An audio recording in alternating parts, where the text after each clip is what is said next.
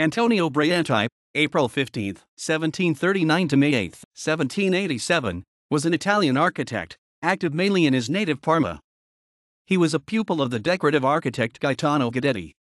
His early years were involved in decorative work, but in 1762, he tied with Filippo Castelli for a first prize in architecture award from the Accademia Parmense di Belle Arti. His winning submission was for a model of a rustic casino on a hillside.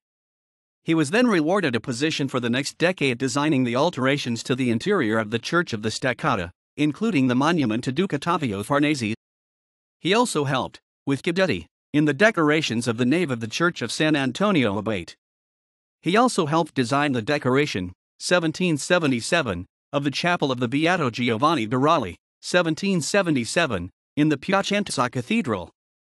Later he worked on the Parmesan Benedictine convent of San Giovanni, the Church of San Sepolcro, and the facade of the Church of San Giuseppe, completed 1782.